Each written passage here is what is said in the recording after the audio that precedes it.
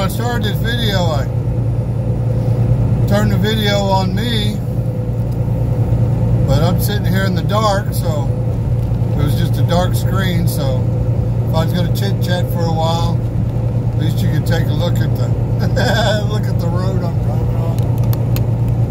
It's a little dicey out here tonight. I just left Fargo, North Dakota.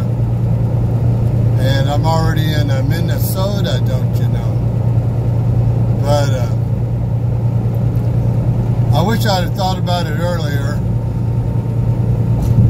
Because I just had one of those rare occurrences that doesn't happen a whole lot anymore. You know, a whole lot of guys don't run their CBs. Probably half the trucks out here don't have a CB on the truck. I just, I just flat don't understand why somebody would be out here driving across the country, backing into docks and doing everything else, and not have a CB radio. To me, that's just nuts. Here a couple weeks ago, I was snowed in at a truck stop, and of course the place was packed, and it was tight. And those of us that had CBs were spotting for each other with the radios, helping each other back in. Those that didn't have a CB radio were backing in tight with no spot. You know, that, that's just one of those things, man. Radio comes in handy.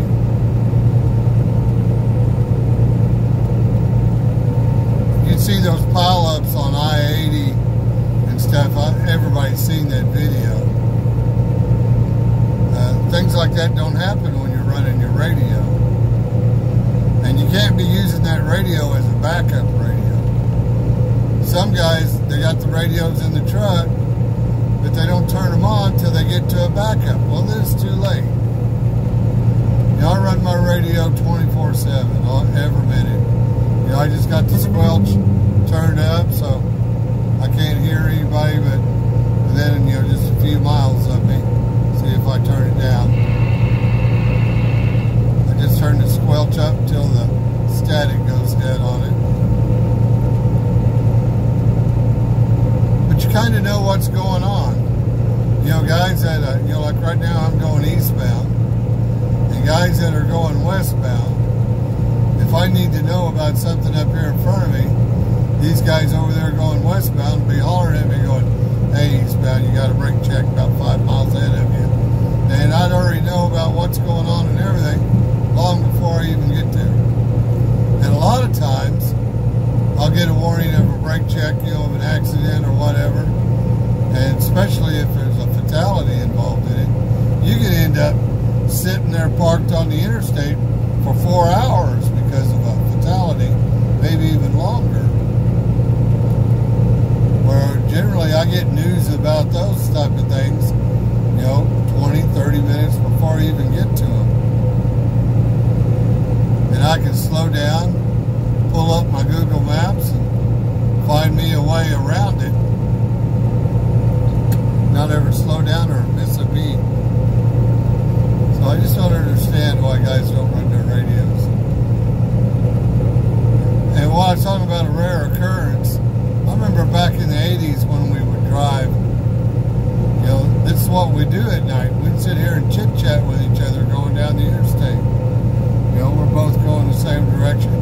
You'd sit here and have a conversation for 20, 30 minutes, learn all kinds of things about trucking.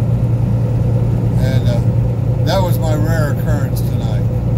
Come out of Fargo and uh, saw a bear go past me going eastbound just about time we hit the way station. And I'd keyed up the mic and I said, you got a bear going eastbound passing the way station right now, guys. And I thought about it for a minute and I went, keyed the mic back up and I said, Dadgum, if you're speeding on a night like tonight, you probably earned the ticket anyway. And I keyed the mic. Another old boy keyed up and he goes, that's for Dadgum, right?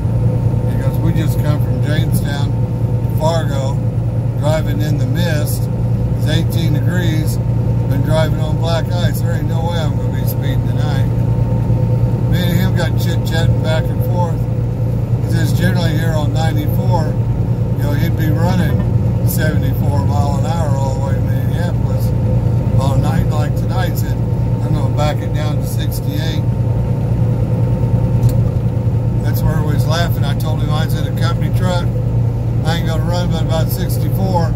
I got the cruise set on light speed. That's as fast as she'll go. we were laughing. We got to talking back and forth. You know, he's an owner operator. He'd been pulling uh, salt water for the oil fields back here in North Dakota.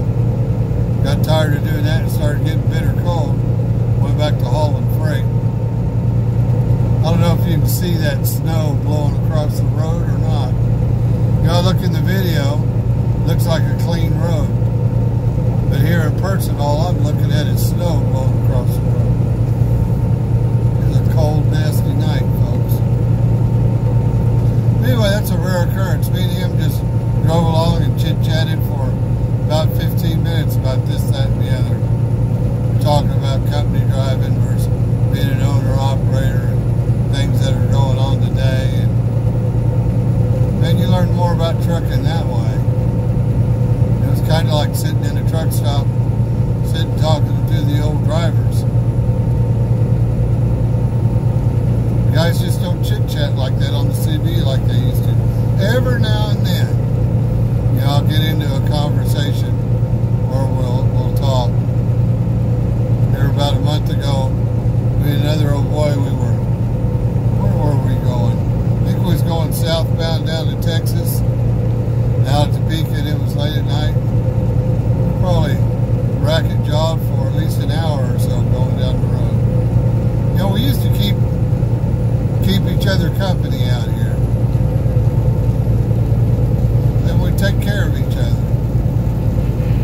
It's a real shame that people don't do that in the industry anymore.